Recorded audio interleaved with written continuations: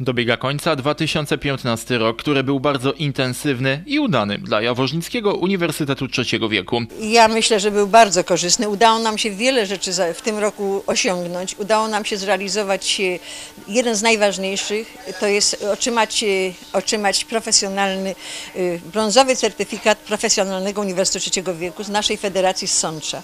Dostaliśmy go 20 listopada, odbieraliśmy go w Uniwersytecie Jagiellońskim w Krakowie. Piękna impreza. Naprawdę z tego najbardziej się cieszymy, że ktoś, że wszystkie władze, które mają coś do powiedzenia w tej kwestii, oceniły nas y, na razie na poziomie brązowego. Ale myślę, że za trzy lata postaramy się już, żeby dostać srebrny. Będziemy coraz więcej robić, żeby po prostu, y, żeby skorzystać, żeby dostać ten srebrny certyfikat. To już siódmy rok działalności UTW. Przez cały rok akademicki seniorzy uczestniczą w licznych zajęciach, nie tylko w wykładach. Nie brakuje zajęć z tańca czy choćby tai chi. Siedem lat, to już jest jakiś kawał czasu na tego. Po tych siedmiu latach y, mamy rozeznanie, co nasze społeczeństwo w Jaworznie chce, jak możemy do nich trafić i co możemy dla nich zrobić. Bo na dobrą sprawę, żeby wyciągnąć człowieka z domu, żeby go nie wykluczać społecznie, to my musimy do niego najpierw trafić, musimy go wyciągnąć z domu. Żeby on chciał być z nami, to musimy zainteresować go czymś. Mimo wieku, dzięki swojej aktywności, wielu z nich czuje się jak nastolatkowie. To jest wspaniała energia, którą zarażają innych i przede wszystkim dają przykład przede wszystkim młodym ludziom, że życie w każdym wieku jest wartościowe, tylko my musimy nadać mu tą wartość. Nie można e, y, życia e, przeczekać czekając na sens, on sam nie przyjdzie. Ci ludzie, którzy tutaj organizują ten uniwersytet, to jest wulkan energii, to są wspaniali ludzie pełni pomysłów, pełni, pełni takiej pasji, pracy dla drugiego człowieka. Jaworznicki Uniwersytet Trzeciego Wieku od lat współpracuje także z Uniwersytetem Śląskim. Uniwersytet Śląski ma podwójną tutaj rolę. Po pierwsze, e, ja jestem pracownikiem Uniwersytetu Śląskiego Wydziału Pedagogiki i Psychologii, jak też członek Rady Programowej pan profesor Jakub Byrczek e, z Wydziału Radia i Telewizji.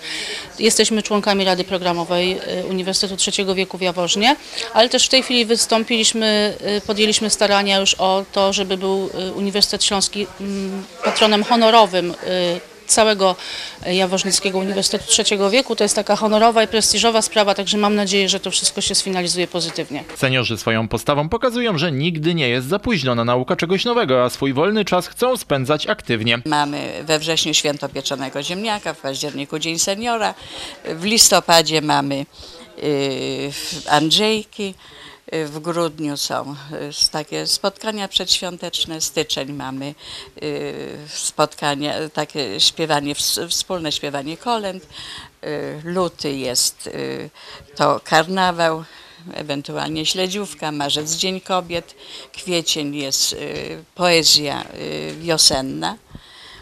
I y, w maju mm, mamy takie mało znane na naszym terenie, a ponoć się ze Śląska wywodzi smażenie jaj.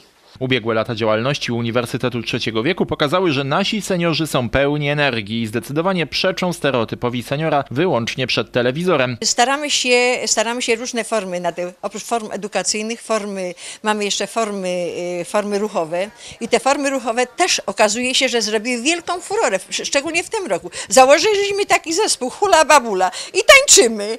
Mamy chór, który istnieje od, od początku naszej działalności.